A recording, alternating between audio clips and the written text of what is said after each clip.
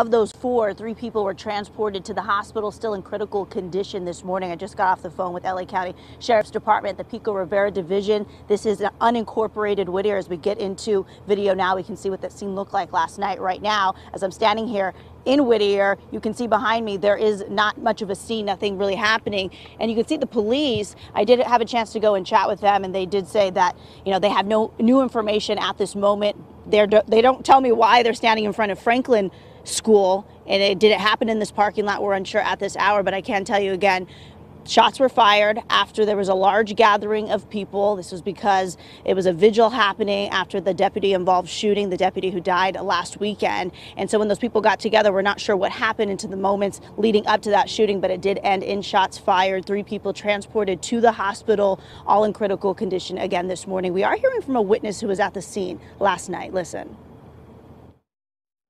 Just saw a bunch of people lay down on the floor saying that they got shot, and then people running, crying, saying that they saw people get shot, and um, they were just trying to leave.